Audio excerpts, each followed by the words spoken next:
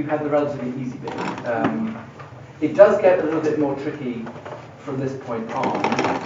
However, the point is, I wanted to emphasize that my aim is to try and help you understand, not to sort of baffle you with the, the obscurities of what's going, what's going on. But, but, but there will be moves, particularly in the move from becoming to Dasein, a little bit uh, more difficult than we've looked at. Uh, do you think, I think now, um, all I need really are the people who are registered for the module. So everybody else, you don't need to worry. But if you are registered for the module, if you could please just sign in on this, um, that would be much appreciated. So I'm just going to circulate that, if I can just have it back by the end of uh, uh, two hours. All right.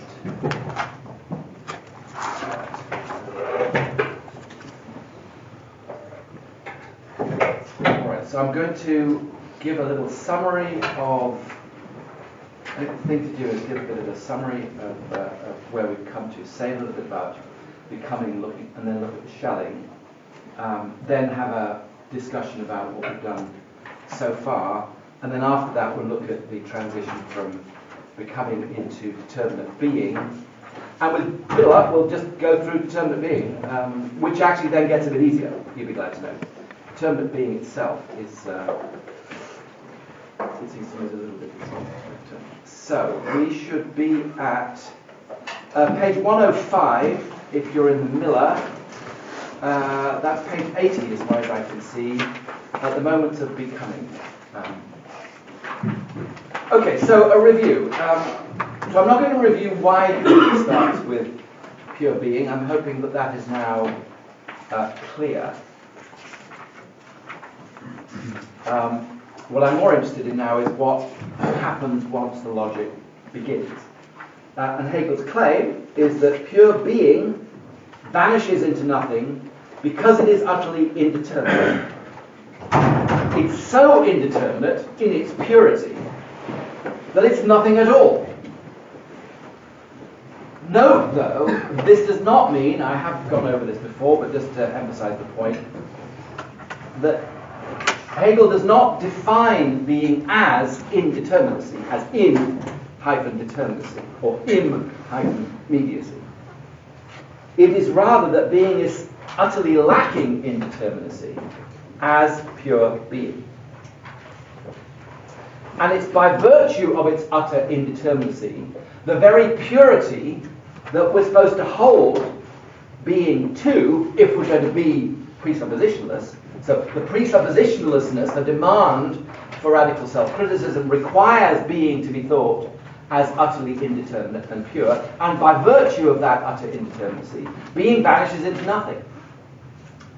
Um, now, there is a nice, uh, well, I find it a helpful statement that Hegel makes on page 99 which is the bottom of 74 if you're in the Di Giovanni.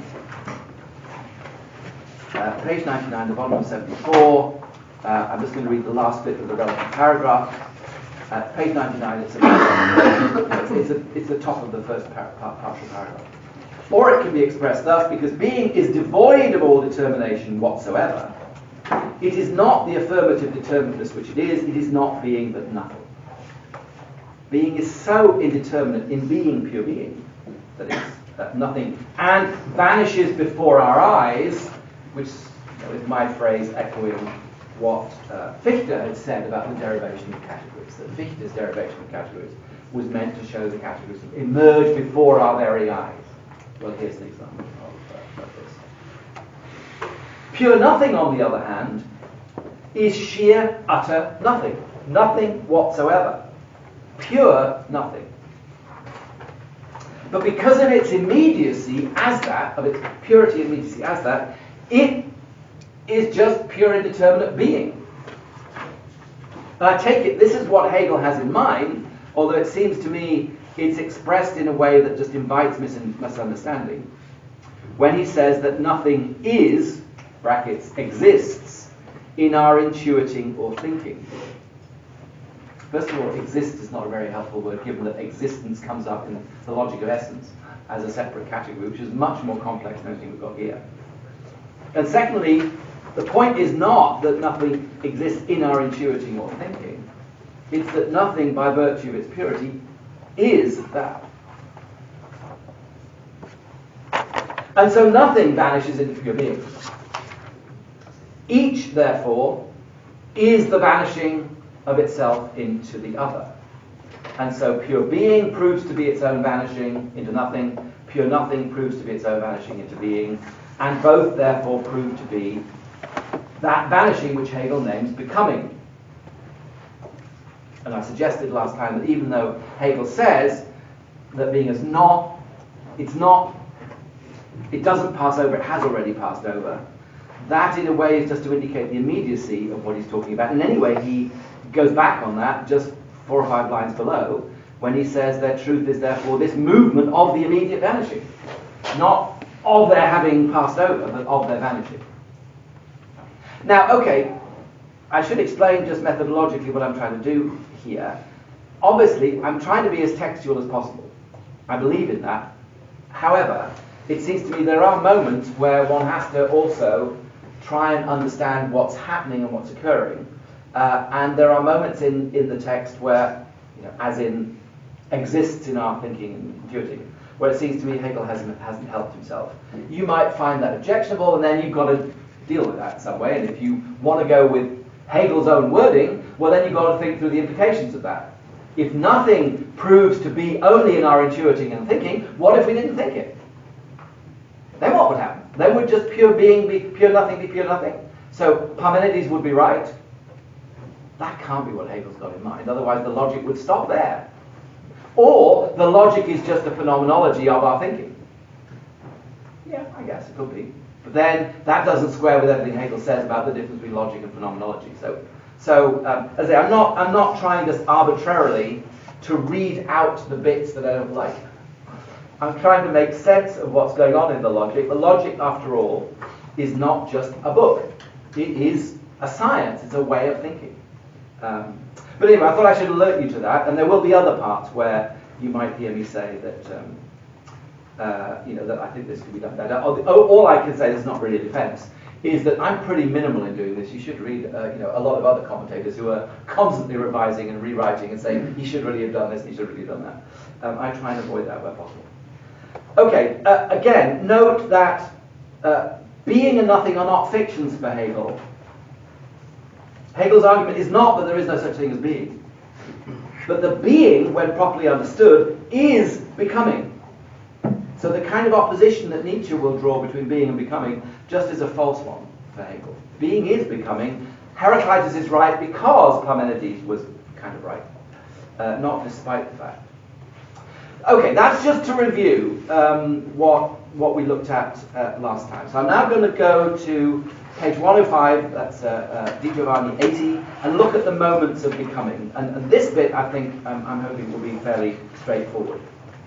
Um, so I'll say a bit about what's going on and then, and then read the actual section. Uh, obviously, since becoming comprises these two movements, becoming uh, is being vanishing into nothing and nothing vanishing into being, then becoming has two aspects to it. Being vanishing into nothing is the process of passing away. Uh, Hegel calls that vergehen, um, ceasing to be. Nothing passing into being is the process of arising, entstehen coming to be. But of course they form a circle, because being passes into nothing, passes into being, passes into nothing. So, coming to be is ceasing to be is coming to be is ceasing to be is coming to be is ceasing to be. They are, in fact, aspects of one process. Now, here we are a little bit in Nietzschean territory, actually. There's no creation without destruction, uh, is, would be another way of looking at this. Such becoming, remember, is logical becoming. This is not becoming in the horizon of time.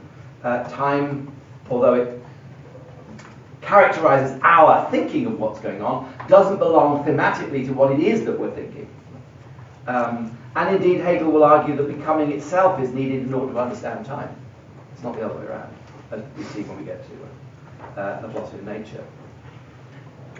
Um, Right, now there's one complication that we have to think about here that, that will recur when we get to uh, uh, Hegel's account of infinity. And that is actually that being and nothing prove, in fact, to be two different things. Not thing is not really the right word, but but but they um, they transform themselves in a sort of twofold way. Each proves to be the very movement of its own vanishing. Each proves, if you like, to be the process of becoming.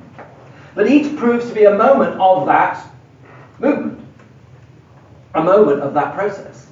Because becoming is the vanishing of being into nothing that being proves to be. Being proves to be the process in which it is one of the moments of that process. Because ceasing to be is just the vanishing of being into nothing. So that's a very typical sort of Hegelian move. Well, in the sense that you see it later. So when we get to the infinite, for example, the infinite will be the process in which both the infinite and the finite are moments. So something's being a moment of itself is already found here. And indeed, self consciousness will involve that as well, in that self consciousness will involve you know, my self consciousness, our self consciousness, will involve a relation to something else. So I am the process of relating to something else in which I am a moment of that process. Anyway, I just thought, you don't need to worry about it, I just thought um, you, uh, you should note that here, and it follows directly from what Hegel is uh, saying. All right, uh, okay, let me just look at the paragraph then, and I'm hoping now that uh, it, it, it, this should be fairly straightforward. Um, so, reading from the Miller, being is the unseparatedness, sorry, becomingness, get right. Becoming is the unseparatedness of being and nothing, not the unity which abstracts from being and nothing. But as the unity of being and nothing, it is this determinate unity in which there is both being and nothing. Although, in fact, technically, it's not a determinate unity yet, because we haven't got to determinate being. It's more determinate than being and nothing were. But insofar as being and nothing, each unseparated from its other is, each is not. They are therefore in this unity, but only as vanishing sublated moments. They sink from their initial imagined self-subsistence to the status of moments, which are still distinct, but at the same time are sublated. So they get the idea that being and nothing are, on the one hand, the process of vanishing, and a moment of that uh, process.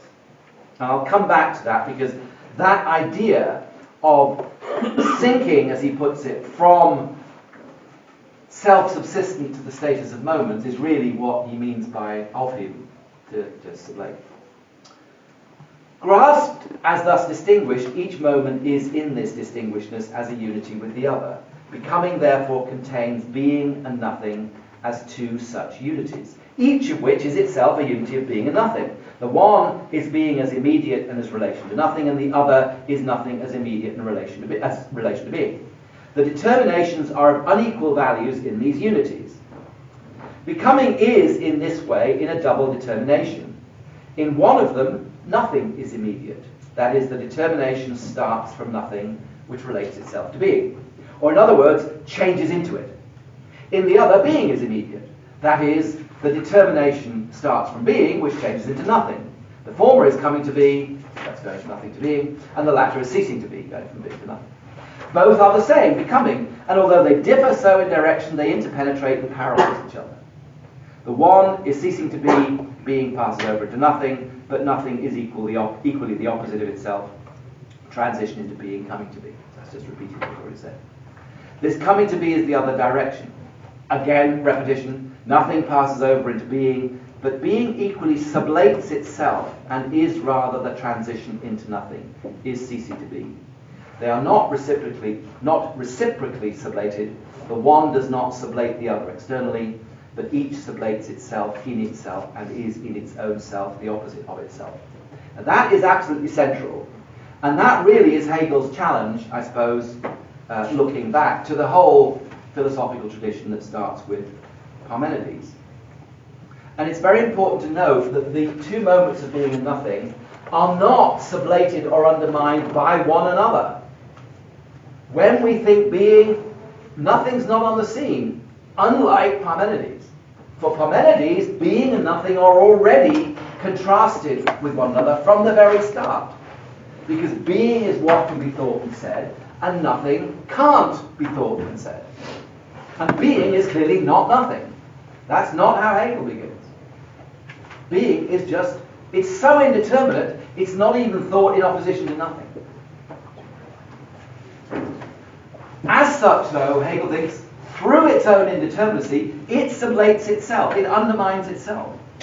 It deprives itself of its own purity by vanishing into nothing. Nothing else does that to it.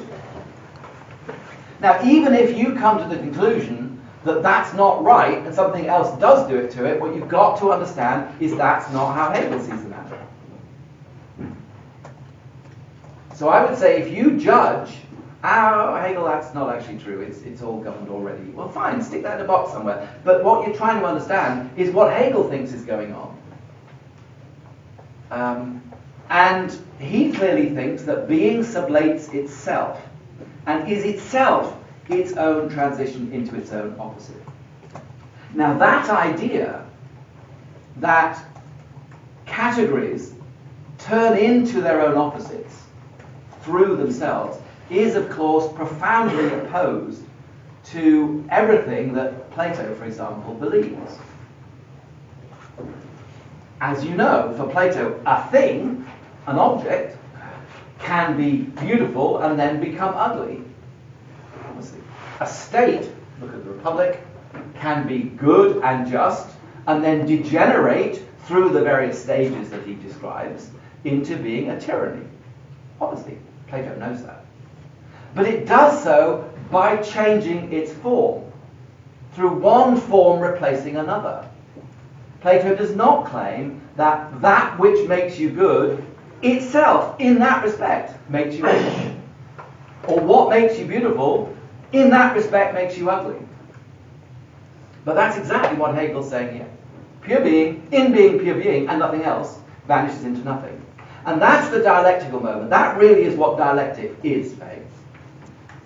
Um, there is, I think I've, I've drawn your attention to this, but if not, uh, I'll do it again. In the encyclopedia, paragraphs 80, 81, and 82 give brief accounts of understanding dialectic and, specula- and speculation.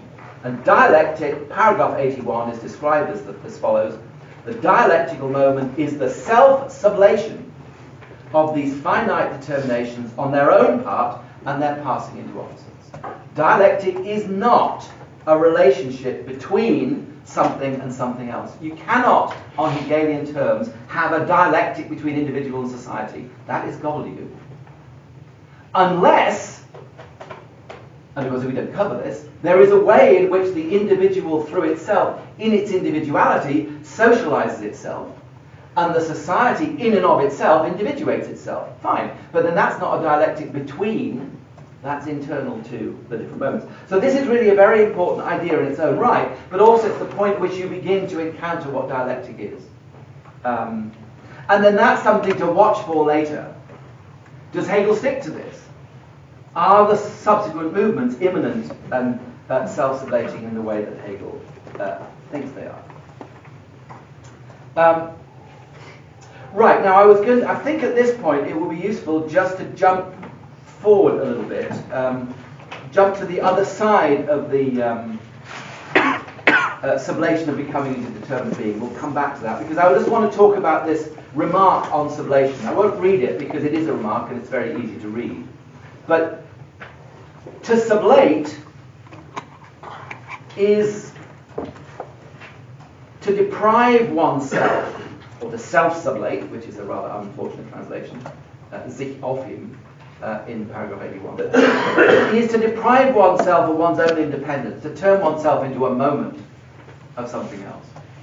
Um, and so he says, that, obviously he says this without making reference directly to sublation in the paragraph I just read from becoming, but then if you look forward to the remark, um, he's talking about the expression to sublate, um, and then if you look at the, uh, uh, the second full paragraph, um, to sublate has a twofold meaning in the language. On the one hand, it means to preserve, to maintain, and equally also means uh, to cause to, uh, uh, to cause to cease, to put an end to. Also means actually to um, to lift off the ground. So that's three meanings. Even to preserve includes a negative element, namely that something is removed from its immediacy and so from an existence which is open to external influences in order to preserve it. Thus, what is sublated is at the same time preserved. It has only lost its immediacy, but is not on that account annihilated. So, being sublated or self sublating is the process through which something loses or deprives itself of its own immediacy and independence. It's not the process of being taken up into some unity which is already there, into which it gets subsumed, or under which it gets subsumed. If anything, as we'll see when we get when we look at the move from becoming to determinate being, the process of sublation constitutes the unity of which the moments are then moments.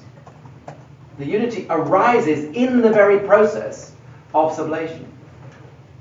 Now, there can be, obviously, structures which are there and which then negate and, and, and deprive of independence other features. Yeah, of course they can.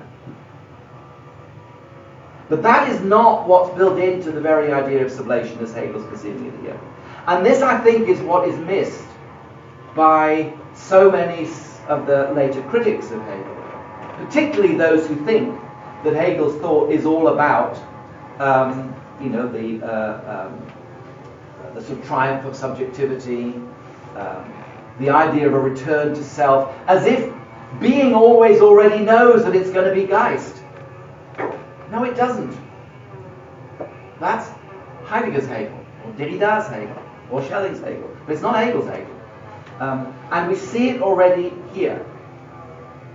These moments are not reciprocally sublated, nor are they sublated by any telos that we're supposed to be reaching. They each sublates itself, purely on its own. Does that violate the law of non-contradiction? Well, I guess it probably does. But so what? Whoever said that we should obey that law?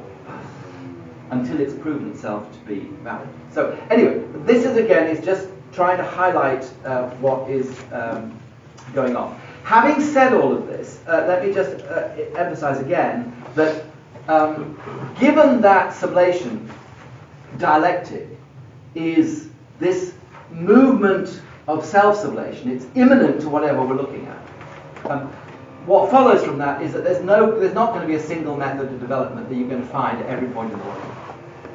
The way categories develop is peculiar to each category and will change. And as we're about to see when we look at the sublation of becoming into Dasein, that is a, has a different structure from the one we've just uh, looked at. So please bear that uh, in mind. Um, all right, I think though, before we do that, um, I'm going to suggest we look at the Schelling. Um, is this? Yes, I think I will, because it sort of relates to what we've uh, just said. Now, I I have brought a few copies along. Obviously, those I emailed yesterday. I'm hoping you've got your own access to uh, the Schelling piece. There are a few, so if you, if some of you are here with, that don't have access to the Moodle page, or didn't get the email yesterday, or need the Schelling, then there are, there are a few. There are, there are only about six, so you have to share. Sorry about that, but uh, maybe is there enough there? Does anybody need the Schelling or all got Schelling? Okay, you've got the Schelling. Anybody need the Schelling? Yeah, yeah. And of course, you should have your own copy of this book anyway. Schelling's lectures on the history of philosophy are absolutely central to this period. Also seventy-five So how much is it? Seventy-five. For the paper? Uh, seems like I found forty-five used. Gosh, it's a, it's a CUP paper. Gosh, okay, well I do apologize. Better, well, well, complain. Write letters to Hilary Gaskell at CUP and say, oi, what's going on? Um, that is outrageous. Anyway, it should, it's, it's a CUP uh, paper, so it should be called that last one. All right, now, for this, um, the sequence of categories we've looked at, you know, is being, nothing, becoming. Now we don't, we haven't yet got to determinate being, but we're about to. So let's add it in. And just for shorthand, I'm going to call it Dasein because it's uh, involved less writing. Um. Dasein. So being, nothing, becoming, and Dasein. And this is where determinacy enters in. So, being obviously is pure immediacy. This is pure immediacy in the form of the negative of nothing. Becoming is this movement of vanishing, and uh, Dasein is the moment of determinacy. And look at that structure. And also bear in mind the, the immanence that I've been trying to emphasize and that Hegel emphasized himself. Now, this is Schelling's, uh, from Schelling's um, Würzburg lectures, I think, which were given in the 1830s or so. Um, he then went on um, to a lectureship in, uh, in Berlin. Um, and it's Schelling looking back at Hegel's logic and giving his account of what he thinks is going on in the logic. So this is not Schelling's view of the matter at hand. It's Schelling's account of what he thinks is going on in the logic. So I'm going to read through it, and then I'll comment on it, and, and I hope you'll be able to see um, where I think the differences are between Schelling's Hegel and Hegel's Hegel. Um, but bear in mind that in the 1840s, Kierkegaard, Engels, and others went to Schelling's lectures and we're hugely, this is hugely influential. Uh, okay, so, um, all right. Um, so on the left side of the page, I would say about 10 lines up or so, there is a sentence that begins, pure being is as it is being in general. Pure being is, as it is being in general, admittedly non-being in an immediate way, without any immediate, uh, without any mediation, and in this sense is nothing. This is in Hegel logic. One should not be surprised by this proposition, but rather by that to which it is supposed to serve as a means or transition. From this connection of being and nothing, becoming is supposed to follow. But I first want to note that Hegel wishes to explain that equation of pure being and nothing by the example of the concept of beginning. The thing, as he puts it, is not yet in its beginning. That's from the encyclopedia uh, paragraph 88 or somewhere like that. The little word yet, noch, is interpolated here. If one uses this, then the proposition pure being is nothing would only mean being is here from the present point of view, still nothing, noch nichts. But in the same way as in the beginning, the non-being of the thing, of which it is the beginning, is only the not yet real being of the thing though not its complete non-being, but certainly also its being, admittedly not its being in an indeterminate manner as Hegel puts it, but it's possible, its potential being. Then the proposition, pure being is still nothing, would just mean it's not yet real being. But precisely thereby it would itself become determinate, and no longer being in general, but rather determinate being, namely being in potentia. However, with that interpolated yet, something to come which is yet to be is already promised, and with the help of this yet, Hegel gets to becoming. Of which he says in a very indeterminate manner that it is the unity or unification of nothing and being, one ought rather to say that it is the transition from nothing, from not yet being to real being. So that in becoming, nothing and being are not united, but instead nothing's left behind.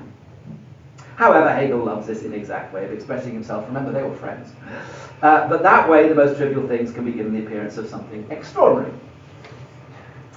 Okay, so let's go over this again and see exactly what he's saying. So, he accepts that pure being um, is understood as non-being, although of course that's not exactly what Hegel says. Hegel says pure being is nothing. Uh, non-being as such doesn't hasn't entered into Hegel's story yet, but we'll, we'll forgive Schelling that oversight. Uh, remember that uh, in the beginning of the first remark after becoming, Hegel says, well, you could talk about Nichtsein, you wouldn't lose anything, but in fact what we're concerned with here is nothing as relationless. We're concerned with pure nothing, not really with non-being. But. What Schelling is surprised by is what this is supposed to lead to. And this is where Schelling gets into his own uh, reading.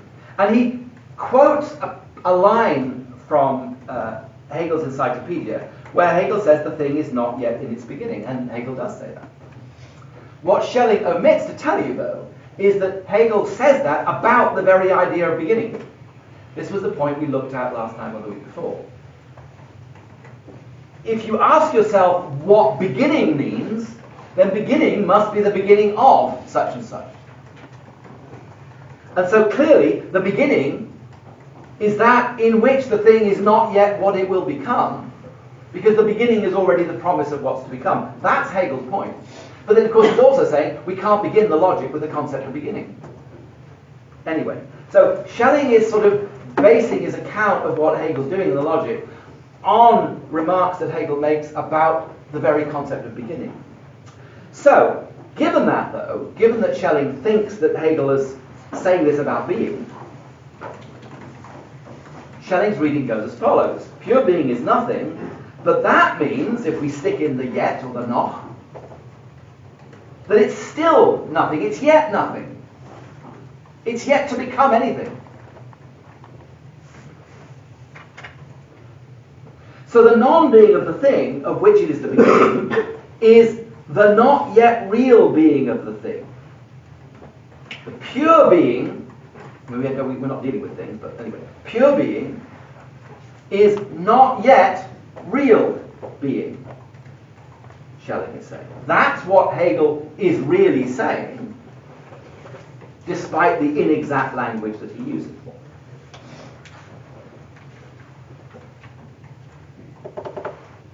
So that means that pure being is indeed not yet real being, but it's not purely indeterminate.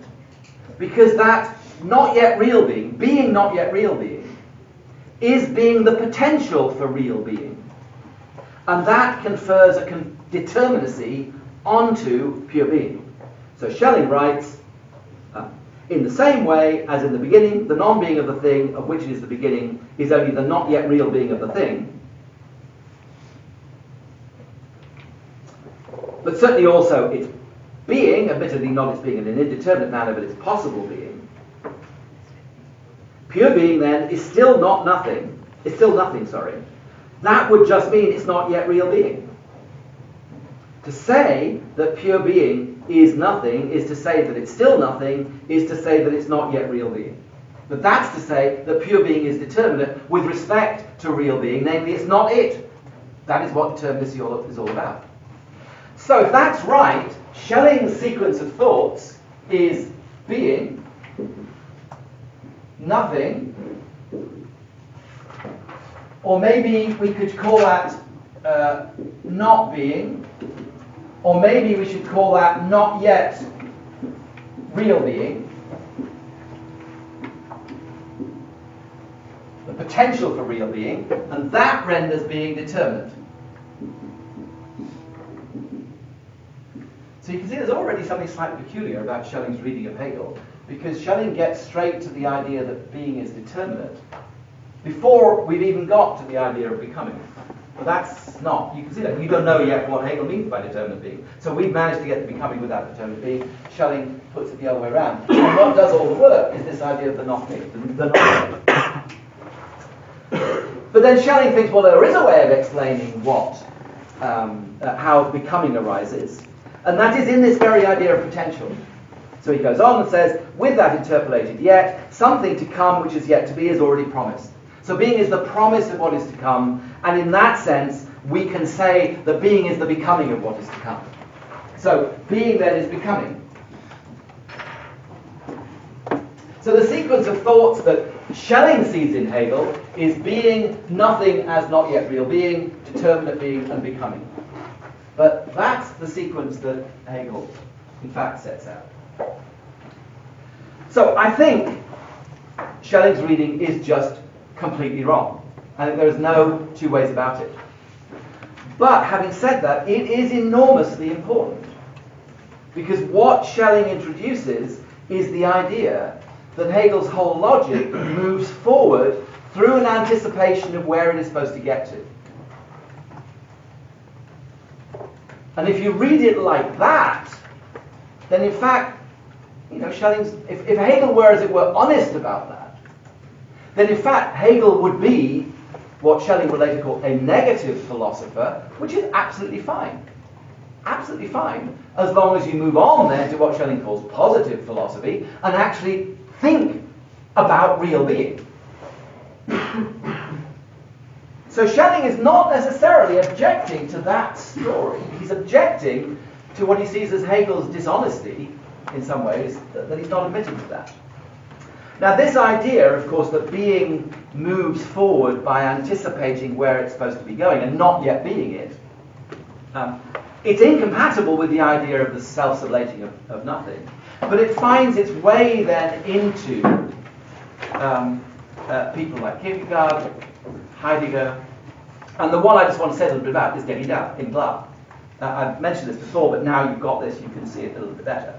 What, what, but Derrida adds an extra qualification to this, which is really interesting, and that is that, that, that, that Hegel's, um, whatever it is that Hegel's talking about, almost at any point in the system, is always not yet where it's going to go, but it's always, at the same time, always already what it's going to be. And so, in fact, Hegel's spirit, the Derrida, is spanned between not yet being what it is and always already being what it is. It's never joined up with itself. It's always kind of out of kilter with itself because it's always already what it's not yet. Schelling doesn't say that, but you can see that Derrida is thinking in the spirit of Schelling. Again, I think Derrida is wrong, but the story is more complicated and more interesting. And of course, the always already picks up the Heideggerian idea of the je schon, um, of the, uh, which, which is a, a, a favourite term of Heidegger's. Anyway, I think it's important that you know about Schelling, you, you know um, where this goes, and I think that then explains, seems to me, a lot of the way in which Hegel gets read later on. Um, there are other things feeding into this, particularly in France, you know, worries about totality and, and so on, you're familiar with all of that. But this, it seems to me, is really uh, important. Um, okay, I think what I'd like to do at this point is sort of pause and have a little discussion about this to see what your thoughts are, not just about Schelling, but actually about being, nothing, becoming, and so on, and perhaps about Schelling. Um, and then when we've done that, we can move on and look at the transition to Dasein. So as always, I think with respect to everybody, I'm going to give the MA students the first dibs, as it were. So if there's, you're registered for it. So if there's anything you want to say, I don't want to put you on the spot, I don't want to do that, but if there's something you want to have a first go, yeah, you want to, yeah, um, uh, just uh, have my understanding. So you mentioned that the process in the logic is atemporal.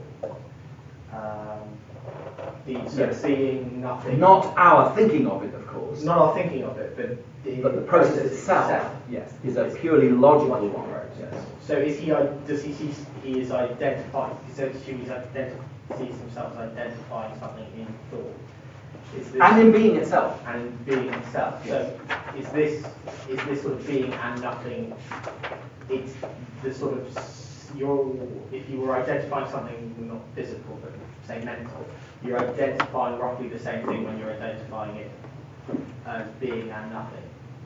No, no, no. In fact, Hegel specifically says that in the remark, the first remark that that's not what he's saying. He says, you know, some people think that this means that, you know, it's the same thing to say the house is or the house isn't. No, because this is this doesn't apply to determinate things. This so so it says just erase the very thought of a thing out of your mind. This is pure being as such. Pure being as such is nothing. Although of course in in being inseparable and, and indistinguishable from nothing, Hegel also says it's different from it. So there is an immediate difference that vanishes. But that is an immediate difference between pure being and pure nothing. Once you get on to things like houses or things like things, then this dialectic in precisely that form doesn't apply. Because then you're not dealing with pure being and pure nothing anymore.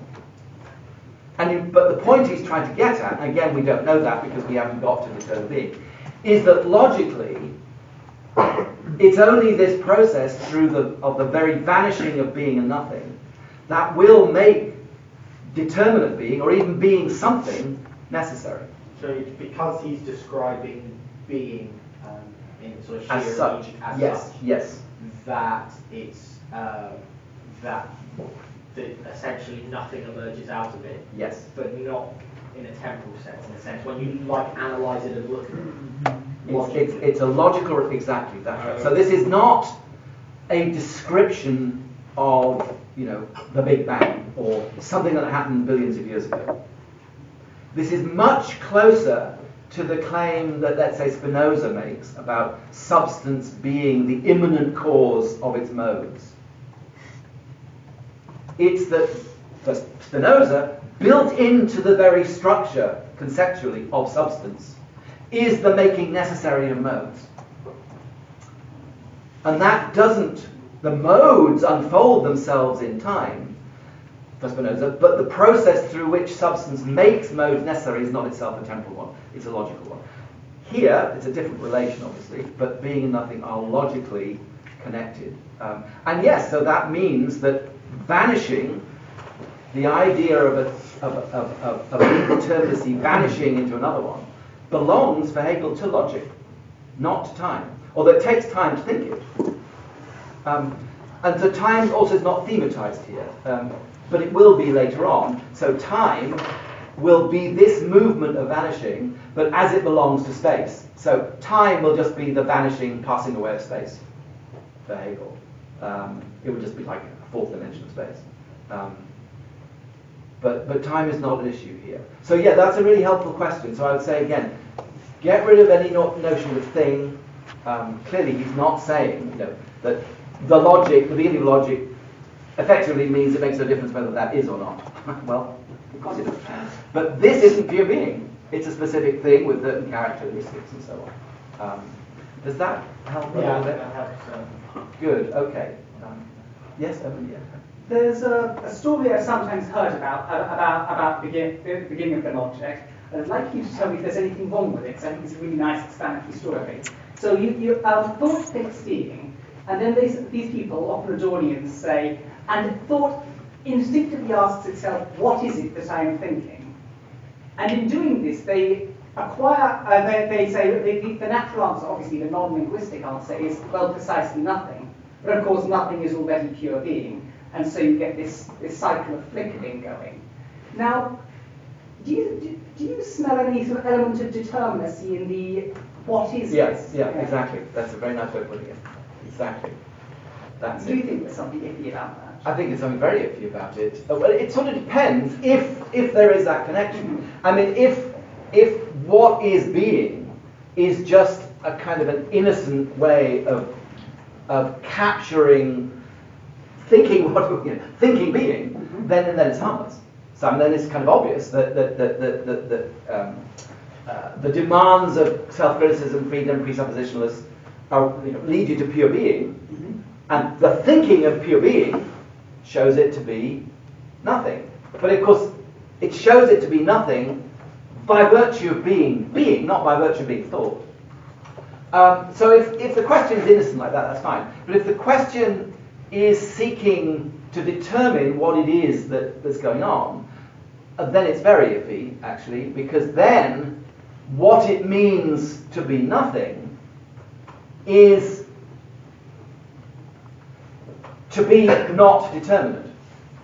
And so the story would then be we think being, we ask what it is, expecting it to have some kind of determinacy. We discover that it doesn't have any, ergo, it's not determinate, therefore it's nothing. Nothing would then not mean the absence of being, it would be the absence of determinacy.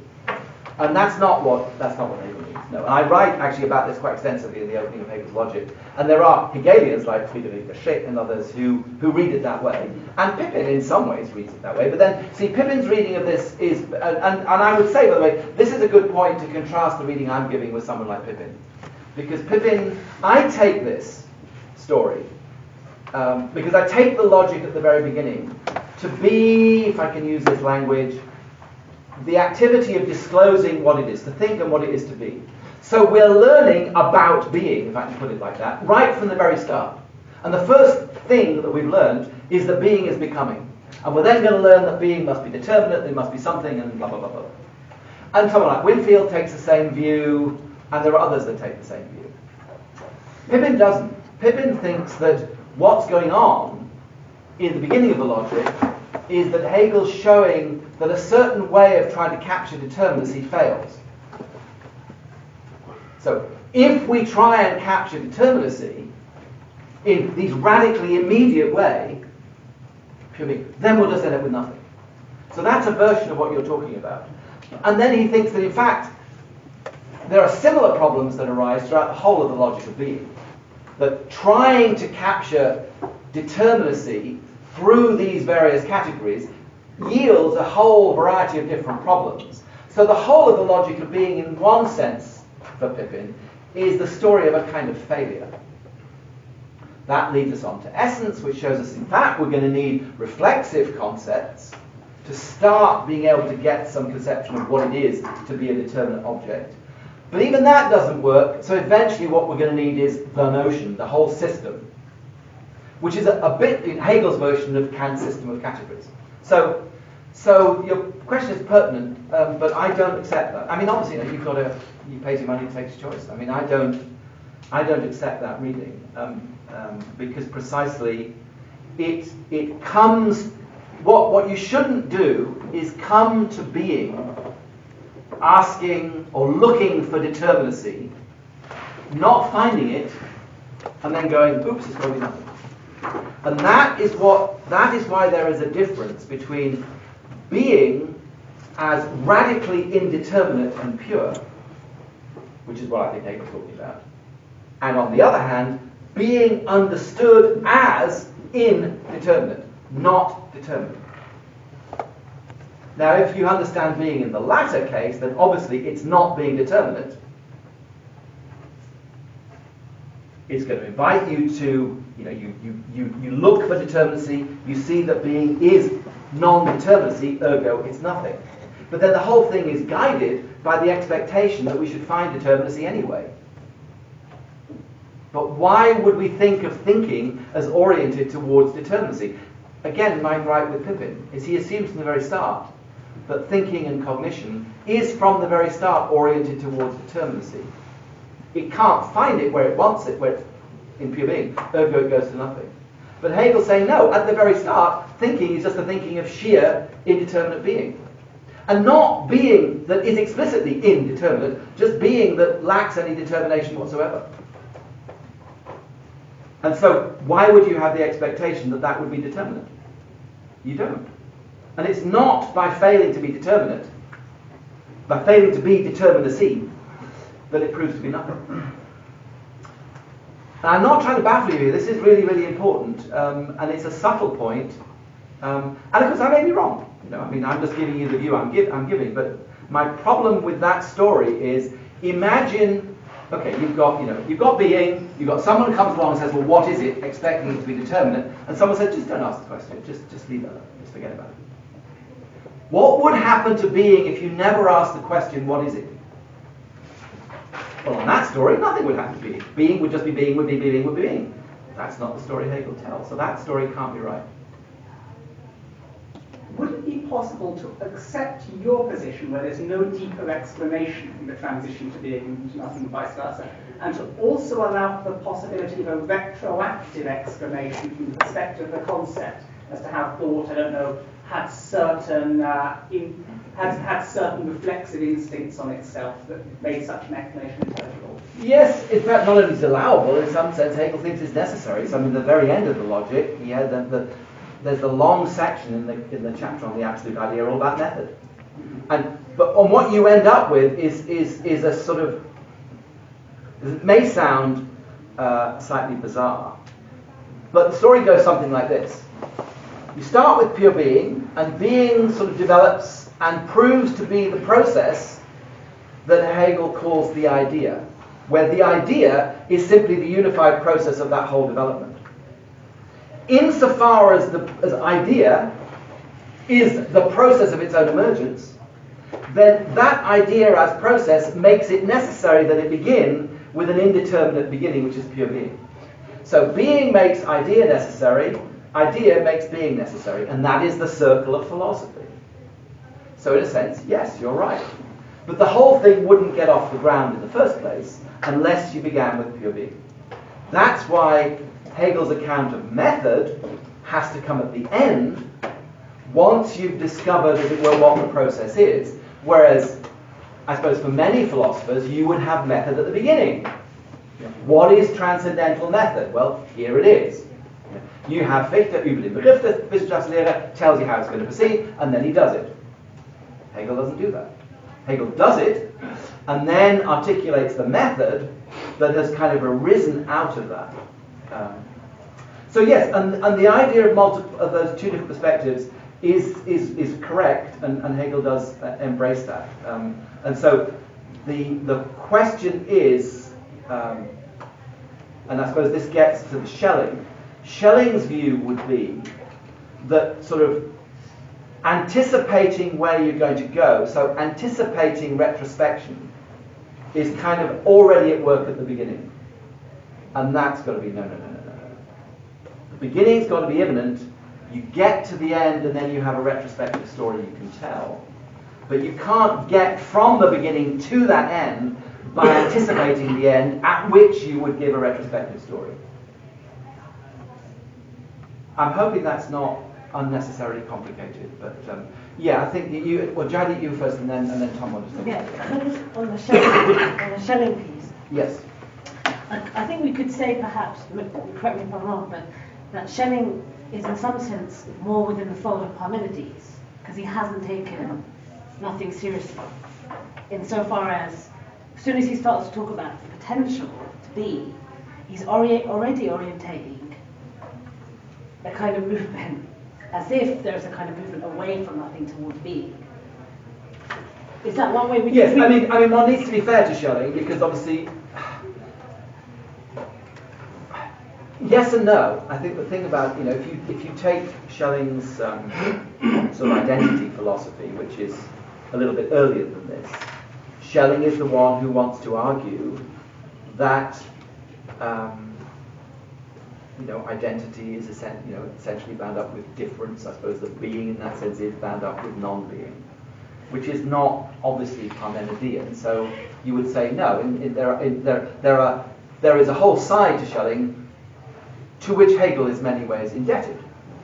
Uh, so I want to be shared, fair to Schelling. On the other hand, there's another side. You're absolutely right, and one sees this actually in in, in Schelling's identity philosophy when he says that identity expresses itself as difference, as the indifference of different moments that it kind of generates. So the term indifference, indifference, which is the, you know, the negation of being different, the not being different, but which is inseparable from difference. You can't have indifference without difference that you negate. So identity for Schelling is indifference. So tied to difference in, in not being different, but precisely in not being different. So if, if that not being different is being identical, is being, then there's a Parmenidean moment oddly bound up with a non-Parmenidean moment, which is why Schelling is not easy. And I don't want to sort of, I was just focusing on this bit. Um, so I think with that qualification, to be fair to Schelling, don't think of him as just, you know, being, being pure Parmenidean. He's very complicated. Spinoza, it seems to me, is a little bit more, which you've worked on obviously, is a little bit more Parmenidean because there you have no intrinsic principle of, of self-negation within being. Being is being is being is being. The attributes are what they are, pure affirmation. Um, so there you've got more of the, of the heritage of Parmenides. I think. Yes, it's just a kind of question or maybe a comment about, I suppose, maybe pushing why people might be suspicious of what Hegel's doing. Mhm. So it's a question about the status of logic as a science. Okay. So obviously one way in which conscientious scientists, you know, help their audience understand what they're doing is say, okay, so here's my method. If you follow this method, you'll maybe get the same results as me, Mhm. maybe won't. Right? And Hegel's doing something different, obviously, by giving you the method at the end. He's saying, well, you have to think all this through before you can even understand the method. So you already have to run the experiment in some way before you get the method. How do you run the experiment? And it's always like, I don't know, there's something a bit coercive about this. I mean, Hegel, Okay, no, well let me start because that actually the way you presented it isn't Yeah. right, and if I, I, I may have mis- I may have led you to that misunderstanding. There is a method at the very start, Right. and the method is to be radically and absolutely immanent. Sure. Okay. And that is public, it's an exoteric philosophy, not an esoteric philosophy. Each one of you, in thinking being, according to Hegel, should think that vanishing before your very eyes. Pure being, in fact, if you can hold on to pure, indeterminate being, please tell me how you do it. I'd love to know. If you are able to do it, then the chances are, I would say, you're not thinking pure indeterminate being. You're thinking Parmenides being. That is being, not nothing. Having said that, as being then develops, we have to discover how being develops. And what emerges is then named at the end method. So that method emerges. But um, so I just want to get that clear. On the question of coercion, that's an interesting one. Hegel thinks, remember, that, that what he's doing here is thinking philosophically in a way that is demanded by the modern age of self criticism and absolute freedom.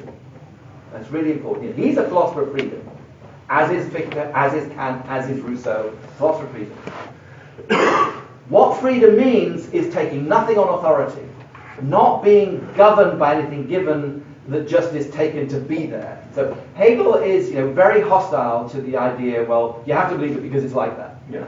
Um, but on the other hand, as you know from the philosophy of right, Hegel thinks there's a necessity inherent in freedom. So in the philosophy of right, you get the necessity inherent in freedom. This is the necessity inherent in free. Well, are we coerced by that? Well, in one sense, yes, we are. We're coerced by the very nature of being. Uh, if you don't want to be, well, don't be. You know, and that would be Hegel's response. Like, if you don't want to be free, if you don't want to be free, then fine. But if you want to be free, then you're committed to rights, action, family, economy, state, history, etc., etc. So, so I can't deny that there is an element of coercion there. What Hegel wants to say, I think, is that it's an immanent coercion, and it's a coercion that you wouldn't think of as being coercion if you see it as intrinsic to being and, as it were, move freely with it. Yeah. But you know, if you're kind of always wanting to be, you know, a sort of perennial adolescent, you know, don't tell me what to do kind of thing, then then this is going to be, yeah, it's going to be coercive in a, in a destructive sense. So does that? Yeah, no, definitely. I mean, also kind of leads to my sort of follow-up question, I suppose, which is again, I'm still, I'm slightly confused about how the logic is supposed to be anything other than just the phenomenology of our thoughts. So again, I mean, we're talking about Oh, right. our interest in it, our thinking being, Yeah. and like oh, it's, it's about our interest in being free, that sort of thing. So I mean, Yeah, so that's what gets us going. Yeah. And and I suppose you, you are right that, that that also sustains it. Yeah. You know, I mean, there are plenty of people that have begun the logic and then given up. People have taken this stuff, no. Um, okay, um, no, no, absolutely. So you're absolutely right. And, and, and Hegel never denies that. And this is why it's a little bit disingenuous of Kierkegaard to say that, that Hegel kind of forgets this. He doesn't forget. He knows we're thinkers. I mean, this is absurd. However, the question is, what is it that we're thinking? I don't mean you know, what determines it. What is it überhaupt that we're thinking? And I, I think uh, the way I see it is that Hegel's not trying to describe our experience as we think, but that a dynamic that's inherent in pure being itself, pure nothing, and every subsequent category. So, and that's very different from the phenomenology. The Phenomenology is looking specifically at what experience is generated, you know, if you take the object this way. Um, and you know how the rest of the story goes. So, so that is phenomenology. There are people who think that the logic is a phenomenology. They don't use that term, but because they think precisely that the logic is exploring you know, what happens, what is the experience of thought that you have when you think in this way. And I guess that's not absolutely wrong, given that thinking being will generate a certain experience. Obviously, a conceptual experience. But what Hegel's focuses on is what is generated by being, nothing, and so on. So that I say will be the answer. And again, if you're not convinced that he's doing it, maybe go along with, with well, that's what he thinks he's doing. Sure. And that's in a sense what we have to evaluate, I suppose, is in each case. So coming now, we have to look at becoming. Does becoming have within its very logic the move to um, Dasein? Although we still have to render that explicit.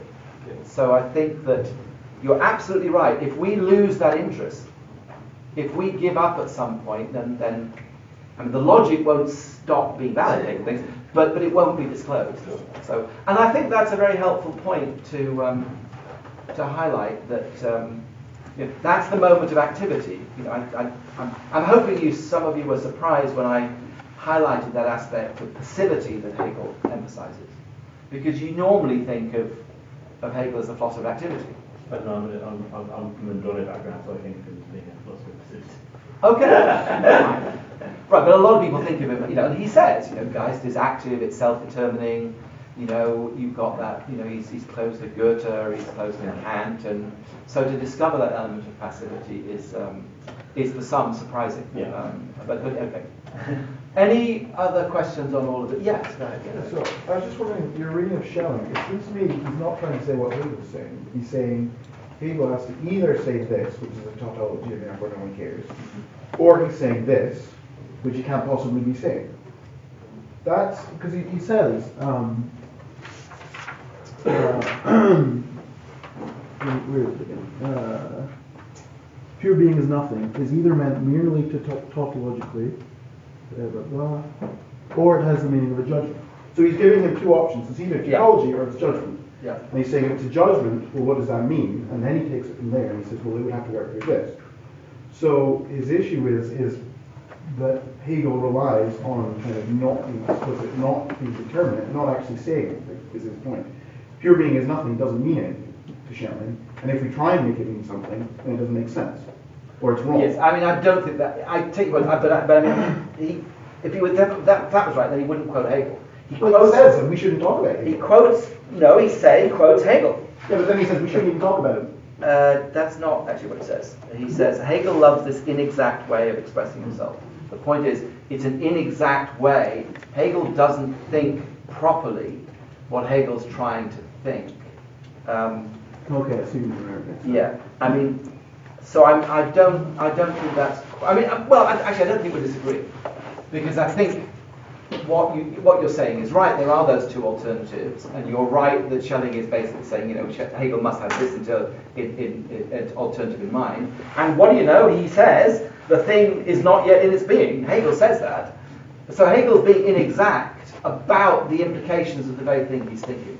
Um, I take it that that's what, what Schelling is getting at. Now, there is a separate question, which is not addressed here, namely, you know, how should Schelling himself, in negative philosophy, think about all of this? And that might not match this, or it might, we don't know. But um, Okay, it's now five past. I suggest we have a, that was a you know, helpful conversation. We have a short break.